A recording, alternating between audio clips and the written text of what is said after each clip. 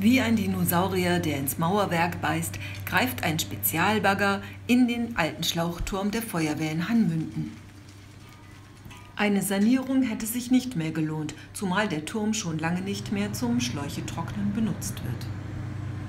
Kranführer Uwe Kaufmann muss vorsichtig arbeiten, denn schließlich sollen weder das daneben stehende Feuerwehrhaus noch der Bahndamm beschädigt werden. Der obere Teil des Turms und einige Gefache waren bereits per Hand abgetragen worden. Die kommunalen Dienste Hanmünden haben mit dem Abbruch die Fachfirma SRG aus Sondershausen beauftragt.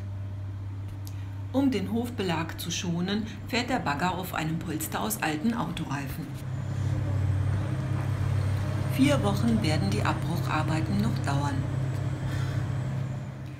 Der Turm diente zuletzt nur noch für Abseilübungen der Feuerwehrleute. Die Schläuche werden schon längst viel eleganter getrocknet.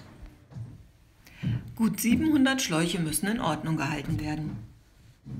Dafür hat die Feuerwehr in Hanmünden eine Schlauchtrocknungsanlage. Hier kommt der dreckige Schlauch rein, einmal waschen und föhnen bitte und am Ende kommt er sauber wieder raus.